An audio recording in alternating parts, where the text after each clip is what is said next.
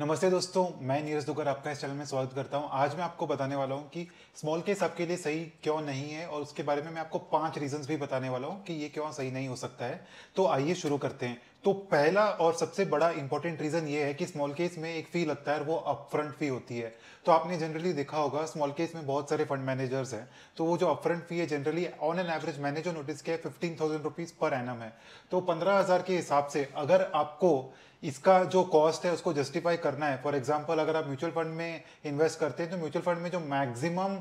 Expense ratio होता है, वो 2.5 परसेंट होता है। उससे ज़्यादा नहीं हो सकता क्योंकि सभी का रूल है राइट तो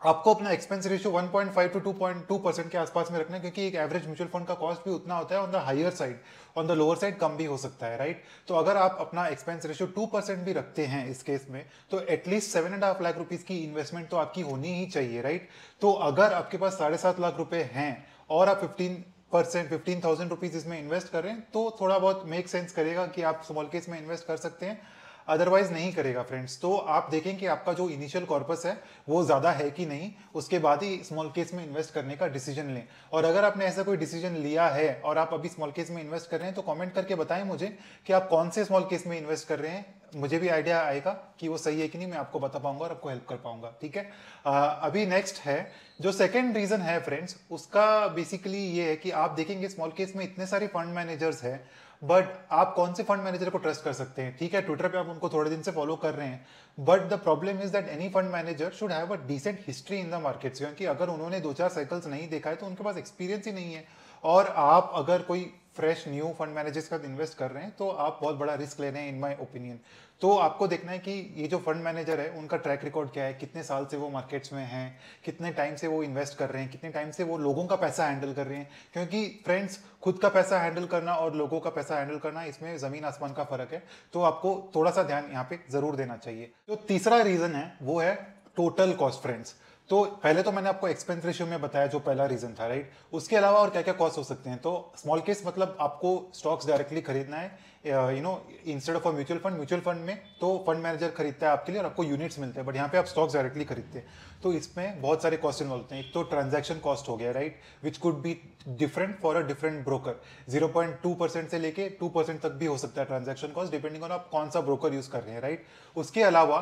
आपको दूसरे कॉस्ट भी है। जैसे फॉर एग्ज़ाम्पल अगर आप डिविडेंड आते हैं तो डिविडेंड पे अगर आप थर्टी परसेंट टैक्स ब्रैकेट पे हैं तो आपको उस डिविडेंड पे टैक्स पे करना पड़ेगा फ्रेंड्स और ये आपको एडवांस टैक्स मेथड से पे करना पड़ेगा राइट आपको अपने जेब से पैसे देने पड़ेंगे।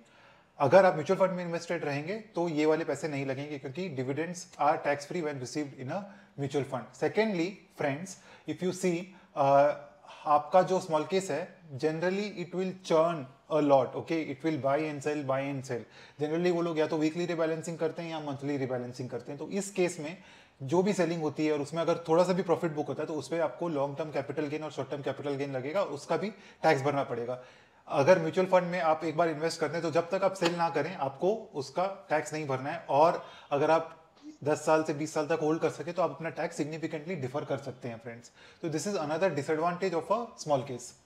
so friends before I move on आपने देखा होगा कि स्मॉल केस में आप लिमिट ऑर्डर्स नहीं डाल सकते। आपको मार्केट प्राइस पे खरीदना पड़ेगा। तो इसमें क्या होता है ना, अगर जैसे स्मॉल केस मैनेजर ने अपडेट कर दिया, उन्होंने उन्होंने अपना प्राइस अपडेट कर दिया बट आप तो नेक्स्ट डे की मार्केट ओपनिंग पे ही खरीदेंगे। तो उसमें क्या होगा फ्रेंड्स आपने जैसे फॉर एग्ज़ाम्पल उसने अगर डाला cost price purchase price in the portfolio उसने अगर हंड्रेड रुपीज़ अपडेट किया based on the closing of the previous day but next day अगर वो हंड्रेड एंड फाइव पे खुल रहा है तो आपका फाइव परसेंट का तो इमीडिएटली लॉस हो गया बट वो फंड मैनेजर तो कहेगा कि मैंने तो हंड्रेड रुपीज़ पे कॉल दिया था तो मैं ये फाइव परसेंट का जो रिटर्न है वो भी कैप्चर करूँगा अपने रिटर्न में। तो प्रॉब्लम ये है ना फ्रेंड्स कि आप जो फंड मैनेजर जो बैक टेस्टेड रिटर्न आपको जो दिखाता है और जो एक्चुअल्स में रिटर्न होंगे, वो बहुत ही डिफरेंट होंगे बिकॉज़ आप जो बाय कर रहे हैं, वो मार्केट प्राइस पे बाय कर रहे हैं, आप लिमिट प्राइस पे बाय नहीं कर रहे हैं। तो अगर आप लिमिट लगा के बाय कर पा रहे हैं then it is good for you but otherwise it is not good for you friends and secondly ये जो बैक टेस्टिंग है, इसके बारे में मैं थोड़ा स्केप्टिकल हूँ। फ्रेंड्स आपको इतना ध्यान रखना है कि कोई भी फंड मैनेजर आके ऐसा नहीं बोलेगा।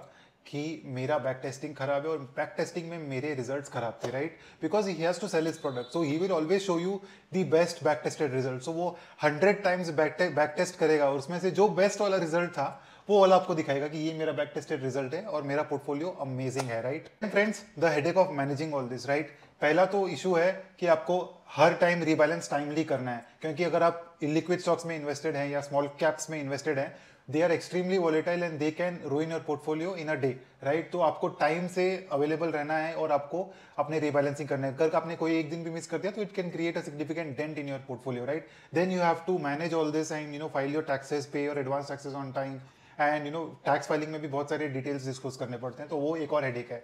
तीसरा और जो सबसे बड़ा रिस्क इसमें ये है, वो है फंड मैनेजर का रिस्क फ्रेंड्स